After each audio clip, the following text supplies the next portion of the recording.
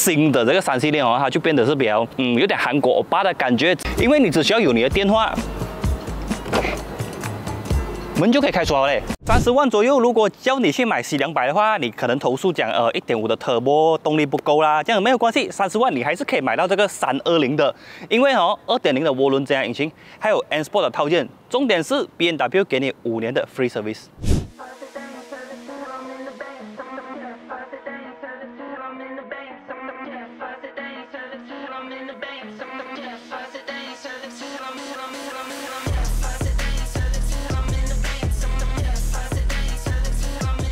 那么这个三二零 i 我不自己本身想拍很久啊，可是这个 B M W 我们那些没有车啦，所以不用紧，我们就自己找一辆来拍。那么为什么我想拍这辆车？因为我觉得这辆车哈，它有一定程度的性价比。怎样讲？因为像是 C 两百跟 C 三百或者是 C 三五零一呢，他们会因为车型不同啊，他们给的空力套件啊，的轮圈设计也会有不一样。但是 B M W 不管你是买到这一个呃三二零啊、三三零一啊或者三三零 i，全部基本上都是 N Sport 套件，所以看起来外观设计哦是比较激进运动化一点的。然后连这个轮圈都是，所以你买三二零的话，人家会不会看得出你是三二零还是三三零 i？一样帅就是啊。然后还有一点就是这辆车自从它小改款过后呢，我就非常的喜欢。以前的三系列不是讲不好看，它就可能比较斯文点。可是这一个新的这个三系列哦，它就变得是比较嗯有点韩国欧巴的感觉，整个比较时尚，比较帅气。然后总之这辆车在外观设计部分，三二零、三三零一、三三零 i 都没有差别。如果真的要讲外观上面的一点点差别的话，就是这个三二零哦，它的那个刹车卡钳是一个比较普通的样式。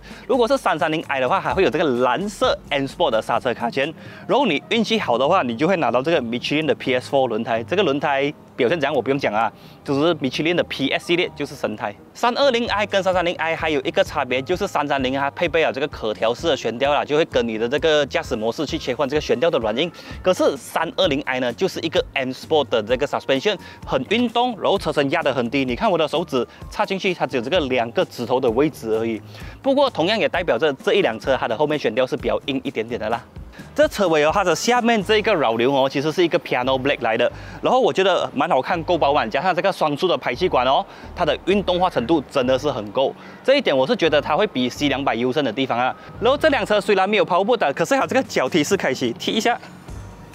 它就开了，而且因为它是有个弹簧支撑，只要一开锁，它就会把它拉上来，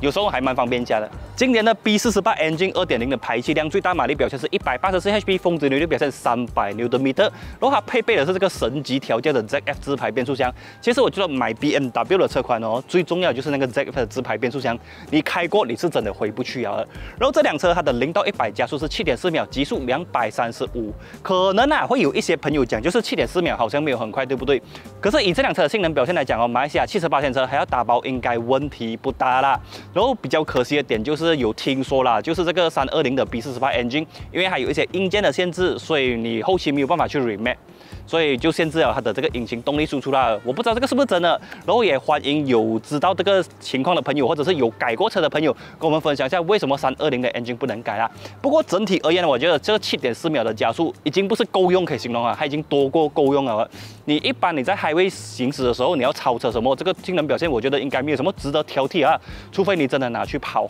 B M W 还有个功能，我虽然讲很多车已经有哦，但是我觉得还是蛮实用一下的功能，就是呢，你的电话可以变成你的钥匙。因为像是我跟自己个人啊，我自己住二十九楼，然后我的车泊在最底下那一层，大概要三十多层。有时候我下到楼下去，我会忘记带锁匙。然后你上班时间全部还在等电梯的话，你上下就是一个十五分钟没有了的。所以这个情况下哦，这个东西就很有用了的，因为你只需要有你的电话，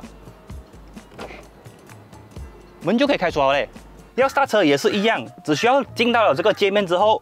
把你的这一个电话放在这个 w i r e l e s charging 这边，就可以 start 了。所以这个东西在你忘记带钥匙的时候，或者你钥匙不见的时候哦，这个真的是很有用。然后这次我主要就是跟大家分享一下这个三二零的内装我喜欢的点。首先第一点就是它没有了这个鸡腿排挡杆，很多人讲就可能没有了这个 B N W 的味道啦。可是我自己觉得这样子的设计其实是好的，因为有时候像是你的电话放在前面，你要去拿的话，有一个排挡杆会顶到你的手。可是它这样的小小个平平就不会顶到，所以你要拿东西还是方便的，就不会左顶啦。虽然讲我自己个人我还是喜欢那个 B N W 象征性的鸡腿，可是没有这个鸡腿，其实对于这个便利度来讲真的是有了。然后接下来就是这个双联屏的设计，这个双联屏很大。但是也因为这样子，它取消了很多实体按键。可是操控起来会不会麻烦？其实不会。就例如讲这一个荧幕主机哈，在你看 CarPlay 的时候，它还是把这个冷气控制面板保留在第一级的界面。也就是讲，就算我开着 CarPlay，我要控制冷气。我要控制风量，基本上都还是做得到的，就不用讲。我要先进去 CarPlay，然后先退出，我才可以去调整风量，不会到那么麻烦。所以在开车的时候，我要盲操作这一个冷气，还是做得到的。这一点我觉得是很多已经没有实体按键的这个厂商可以学习的。C Class 同样也是有啦。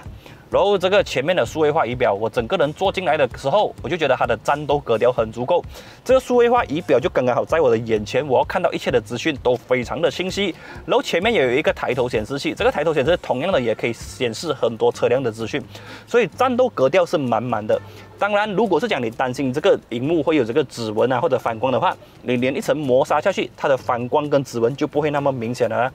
当然，跟这个 C Class 相比的话，我觉得是各有千秋了。这一辆车主打的就是一个很好的驾驶坐姿，很好的驾驶感受。而在 C Class 的部分呢，就是给你一个科技感的体验，就是超大的 iPad，然后五彩绚丽的这一个呃氛围灯设计。当然，这辆车也是有氛围灯的，可是它的氛围灯就不像 C Class 这样子，给你一种很 bring 的感觉。所以，如果你很喜欢 bring 的感觉的话，你就可以去 C Class。但是，如果你只是讲究一个纯粹的驾驶者体验的话，这样这个三二零你坐下去，你一定会很喜欢的。我都忍不住想要去拉两圈了咯。这个三系的后座空间表现就中规中矩啊，没有什么特别的地方啊。但是我比较 surprise 的就是哈，它后面的温度可以自己去调整，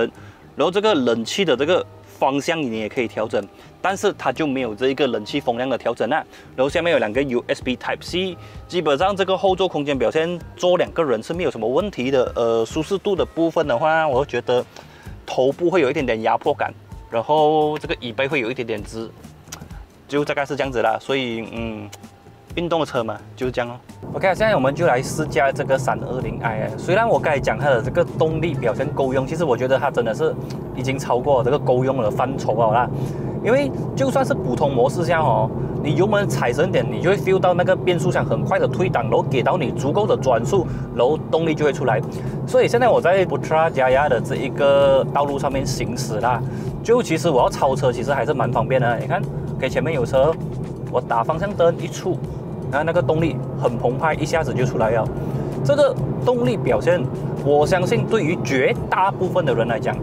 都是 more than enough 的，不要讲你去跑了，跑的话可能满足不了那个需求。但是对于一般的日常驾驶来讲，这个动力表现真的是无可挑剔。尤其是那个变速箱，我每一次试驾 B N W 的车款，尤其是它的 rear wheel drive 的车款，我都一定要称赞这个变速箱。它的换挡跟突进档的时候，那个司机拿捏到真的是太美啊，所以根本找不到任何一点可以去挑剔它的。然后这个 steering 的手感就真的是很跟手，因为我们的 office 其实还有一台那个 F 的 D 的三三零一，有时候我会开它的车下的，那个方向盘就是比较轻，虽然它路感有，但是就比较轻。有时候开起来没有这样爽，可是到了这个 G 登地的三二零过后哦，你很明显的可以感觉到这个 steering 是变重了的，因为它变重，所以你整个开车，尤其是你在高速弯的时候，你会感觉到你会更有信心去过那个弯道。然后该我有试了一下，因为这一辆车它本来就是来这个 N Sport Suspension 的关系，所以它的悬吊确实是比较硬一点，可是。当你在过高速弯的时候，你几乎是感觉不到这个车子有侧倾的，有那一点点啊，因为完全没有侧倾是不可能的。但是它的侧倾就是一点点，会让你很安心，就是诶，我过这个弯我可以过得很平稳、很平顺，然后不会有那种要翻掉的感觉。所以这一个就是 B M W 的精髓在。然后再讲回这个二点零的涡轮增压引擎，我刚有稍微开了这个 S 模式，也就是这个 Sport 模式开下来，在这个模式下面，你可以听到这个引擎的声浪是会比较凶一点的，然后那个变速箱的换挡也比较接近一点，就是你一踩油，它整个就换挡，它没有一点迟疑，就一换挡就直接爆发那个动力给你，所以加速很快，该真的是一不小心就开到一百三十，因为这个是呃限速一百一十的路啊，所以我们还是比较斯文一点。那么整体下来，我觉得这辆车年轻人会喜欢是有原因的，因为它的驾驶感受确实是真的好。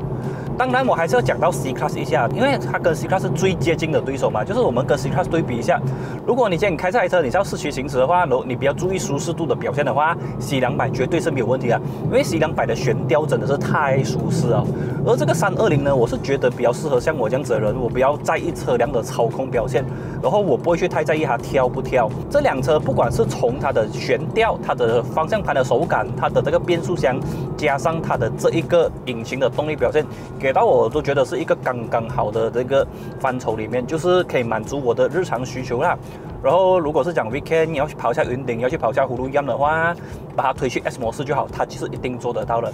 然后当然这辆车在市区驾驶的话哦，其实它也是它的优势在，就是它的这一个引擎的动力在低速的时候，它没有那种